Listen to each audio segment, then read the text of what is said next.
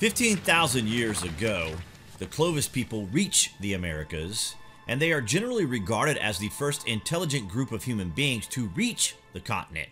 And they surmise this assumption based on the notion that no evidence exists for pre Clovis culture in the Americas.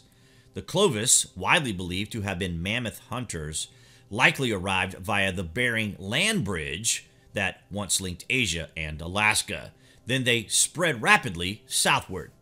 Radiocarbon dating had previously shown the Clovis period to range from 11,500 to 10,900 radiocarbon years ago, about 13,300 to 12,800 calendar years ago, giving the culture several hundred years to reach South America. The spread of culture from North to South America from a period of 15,000 years to 11,000 years is a survivor story. The Clovis hunted to survive, developed tools based on their previous knowledge, and kept migrating southward as they had a present knowledge of where they were heading. They tell us that no other civilization reached this continent before this period, and this is belied by the sophistication we see at sites like Pumapunku, for example. The cataclysm that occurred in the very remote past put our kind to the brink of extinction. The survivors migrated away from the hostile land that was engulfed by catastrophe, and the age of structures across the world would only be dated to the re emergence of our kind in a sophisticated setting. The reemergence is what we consider the timeline of civilization to be, and you have to wonder just how we went from surviving in caves to building pyramids seemingly in a short period of time. Could it be that the pyramids already existed from the pre cataclysmic age? Only in stone can the message survive. The dating by archaeologists of a timeline of history isn't considering the scale of time here on Earth. 15,000 years compared with 4.5 billion years of Earth history is minuscule at best. Why would a planet in the habitable zone of a solar system only develop intelligence after a period of 4 billion plus years? This is an insane amount of time, and of course, we don't have a crystal ball to see through the ages, but perhaps we shouldn't be as ignorant as we are to suggest that human beings today are the pinnacle of Earth existence. The anomalies present on this planet can in fact be explained if we consider this oversight. Earth may have had thousands of previous civilizations that have emerged as we have, and that our planet simply recycled that visible presence. Remember, guys, metal begins to corrode instantly when exposed to the elements, and that includes steel. Within 1,000 years, even the most stable and modern structures today, if left to decay, will be unrecognizable in this relatively short passing of time. So then consider 10,000 years as a passage. Only stone can and will survive. It's that simple.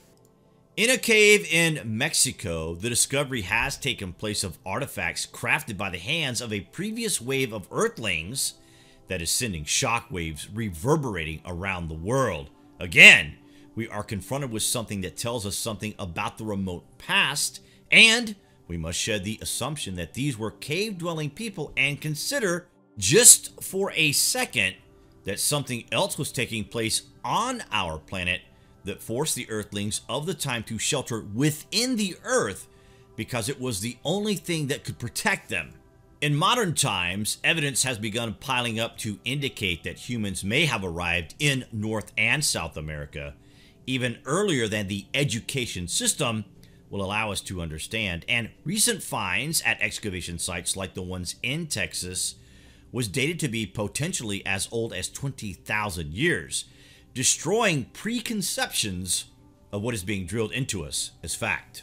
And now the story of man is proving to be just as complex as the history of Earth, as the unknown and unsolved shows us that we are nothing but a drop of water in the ocean. A study published just recently in the journal Nature describes an archaeological dig at Chiquihuite Cave in northern Mexico, where evidence suggests human occupation as far back as 30,000 years ago. Again, The dating just keeps pushing time back further and further, but the squeezing of history into these short timelines needs readdressing.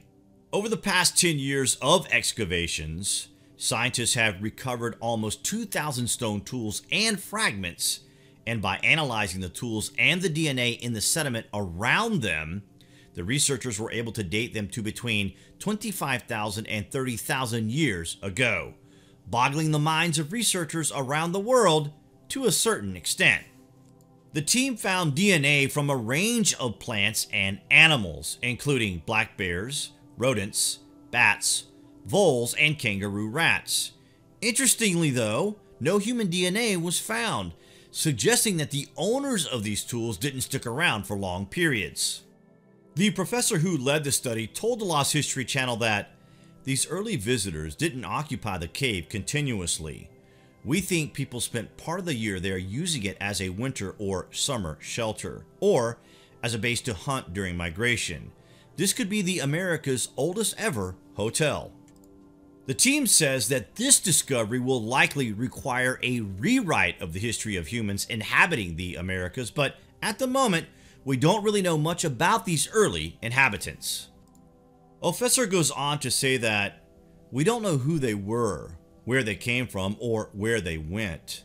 They are a complete enigma, and by the time the famous Clovis population entered America, the very early Americans had disappeared thousands of years before and there could have been many failed colonizations that were lost in time and did not leave genetic traces in the population today. As big a leap as the new study represents, you must also consider that other studies do suggest that human civilizations, in some form or another, arrived in North America as early as 130,000 years ago. Regardless, further excavations and analysis should help uncover more pieces of the puzzle, but what do you guys think about this exciting new development in the understanding process and the true age of our kind? Comments below, and as always, thank you for watching.